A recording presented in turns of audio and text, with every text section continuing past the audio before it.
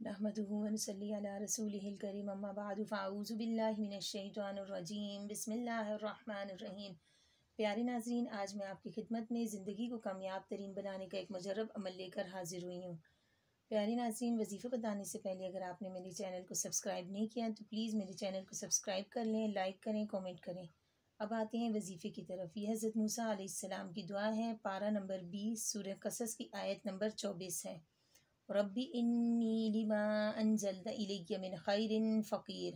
اے میرے رب، جو بھی بھلائی تو میری طرف اتارے، میں اس کا محتاج ہوں۔ ربی انی لما انزلت الی من خیر فقیر۔ اس آیت کو اپنی زندگی کا معمول بنا لیں اور بعد از نماز فجر۔ اس کو سو بار پڑھیں۔ انشاءاللہ العزیز، اللہ پاک آپ کو ہر طرح کی کامیابیاں عطا فرمائیں گے۔ یہ دعا ہمارے شیخ الحدیث صاحب نے ہمیں دور حدیث میں مرحمت فرمائی تھی۔ لیکن پابندی شرط ہے۔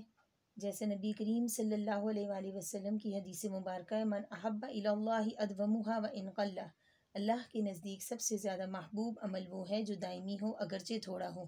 پیارے ناظرین، ویڈیو پوری دیکھنے کا شکریہ۔ آپ سے التماس ہے کہ اگر آپ نے میرے چینل کو سبسکرائب نہیں کیا تو پلیز میرے چینل کو سبسکرائب کریں، لائک کریں کومنٹ کریں۔ اللہ نے کے